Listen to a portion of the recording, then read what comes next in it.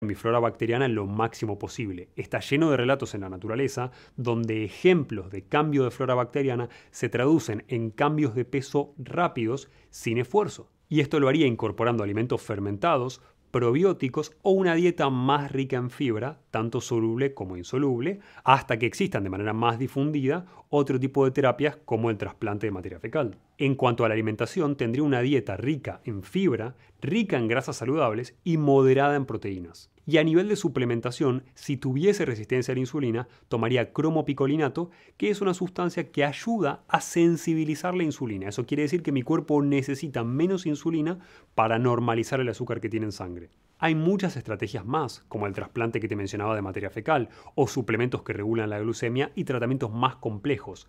Pero estas son las estrategias más simples, muchas de ellas gratuitas, que te van a permitir recuperar tu peso ideal. No esperes para poner alguna de estas estrategias en práctica. Sé realista con los tiempos de los cambios que querés lograr y recordá siempre que el cambio duradero es primero de nuestra identidad, luego de nuestras acciones y cuando esas acciones se convierten en hábitos, obtenemos resultados sostenibles.